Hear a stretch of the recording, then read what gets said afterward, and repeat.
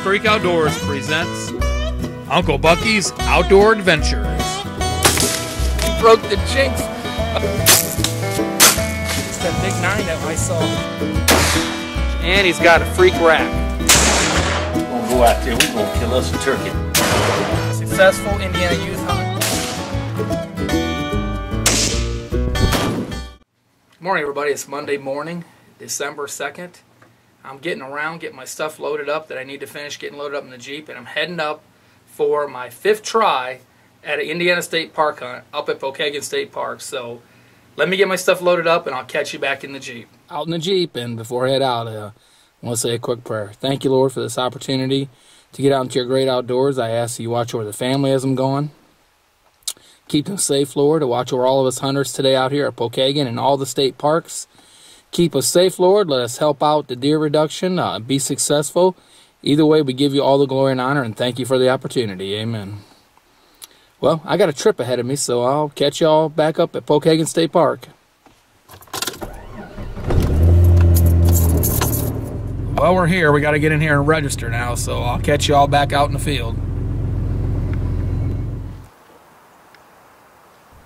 Well, shooting light is almost upon us, and with the crisp air and the fog, it is looking like it's going to be a great morning.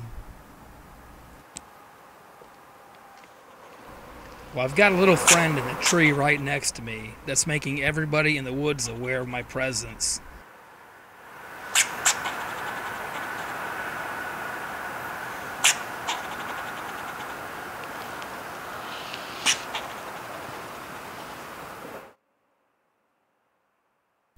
This is my setup for today. I'm set up in a deep ravine right at the bottom. I'm expecting the deer to come down the ravine to the east of me and then travel down through the center. A little bit before 8 o'clock, I heard a deer up above me, so I decided to get the can call and grunt call out and simulate a buck chasing a doe.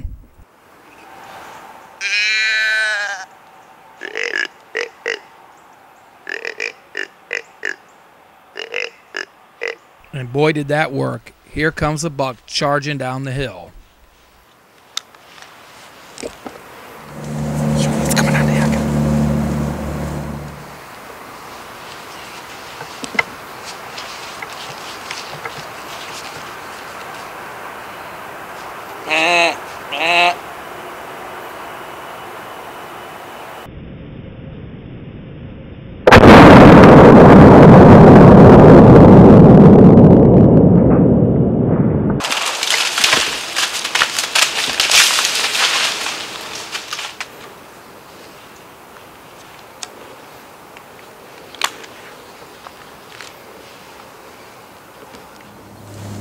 I had to shoot him left-handed, but I hammered him. He's, he's right over here, so we're gonna hang out for a while, and uh, that's.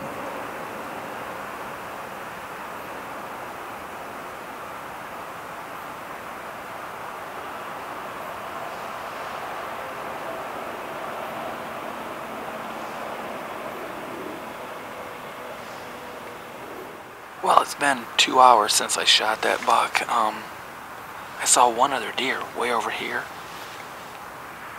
and it took off running. I'm not sure, it might have been a coyote. Uh, anyway, uh, he's just right there. I'm gonna get down. He, I'll explain the shot here in a little bit, but boy, he didn't. My my first park deer. Ooh.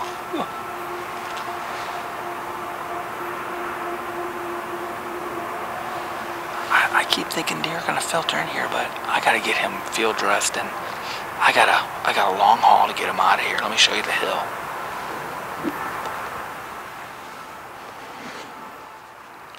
That's the hill I gotta take him up. So I'm not used to dragging him out on a cart. I got a four wheeler, so I'm gonna earn this one. Well, uh, got this nice looking 10 pointer here at the Pokagon Park Hunt today. Came in right about five minutes to eight. Uh, I can called and grunted like a buck chasing a doe, and he come flying down the hill.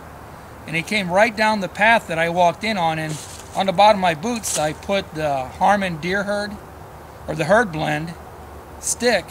And uh, I, you know, guys, I, like I tell you, I use the interdigital. I use that for cover scent, and when you're calling like a deer, and they're directly downwind of you, like this guy was, he he came directly downwind of me. They smell another deer, they hear another deer, they're gonna come in. He come charging in. I shot him at 28 yards. Had to shoot him left-handed. I'm right-handed, but I'm actually left eye dominant, so uh, I can shoot either way. But uh, awesome buck, and I just want to thank the Lord right now for this deer. Thank you, Lord, for the life of this deer, for the substance it will provide for my family. Lord, I, I come out here to these park hunts and out into your outdoors, and uh, you always amaze me, Lord. And I give you all the glory and honor. Amen. Well, I got a lot of work to get done here because I showed you that hill. Whew. I'm going to be a tired puppy when I get this back to the Jeep, but uh, I'll catch you back for a wrap up later on. The official weigh in at home 165 maybe 166, 165, right on the nose. Well, I finally had success at one of these park hunts. Um, I've been out several times, and it seemed like whether bad luck or bad weather, one or the other was blocking me from being successful. And I felt kind of bad because, you know, this is why we do these deer reduction to help reduce the population of the deer. I want to take this moment to thank the people at Pokagon State Park. What an excellent group of people professional and very cordial and helpful. And they even go above and beyond the call of duty to make sure that us hunters had everything we needed to be successful. And then once we were successful and we needed help getting our deer out of the field, they even helped us then. Um, as I showed you, the hill was very steep trying to get that out. It didn't appear so on video, but down there on the ground, wow, it was a, a daunting task ahead of me. I called the office and talked to a lady there who sent out two young ladies. They just graduated out of college. And although they were tiny, little petite things, they were mighty. They helped me get that deer up the hill. And then once we were up on top of the hill and on the path, they went ahead and took the deer cart and the deer all the way back to my Jeep. And I want to thank you two ladies for the help. I didn't do any videotaping of that because I wanted to help them get it up the hill. Plus, I wasn't sure if they really wanted to be on video. But I thank you, and I thank everybody there at Pokagon State Park. What a great representative of Indiana and our Park Association and our parks that we have. You guys did an excellent job. I want to thank the Indiana DNR also for having these deer reduction hunts and allowing us hunters to go into these parks and become conservationists, where we're actually helping the deer herd by controlling the population of the deer herd in these parks, we're helping the undergrowth grow back, and it only helps the, not only helps the deer, but it helps the habitat and helps all the other animals in that ecosystem. Well, thanks for watching, everybody. As always, take care, be safe, and you know, most of all, have fun.